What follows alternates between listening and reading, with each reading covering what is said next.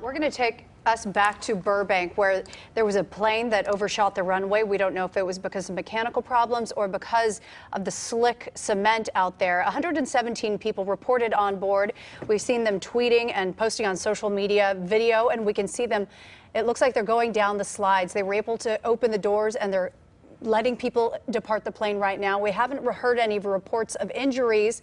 And as we watch this happening from the Hollywood Burbank Airport, you should know that the airport does remain open, but they are dealing with the Southwest plane that came in from Oakland. Yeah, they were trying to get this plane to get to one of the gates. Unfortunately, that wasn't possible. So now what they're doing is they are getting all of these passengers out using the slide. You can see them coming out of that main door there, going down the slide. The good news, no reports of any injuries. Again, this flight came in at a 903 from Oakland.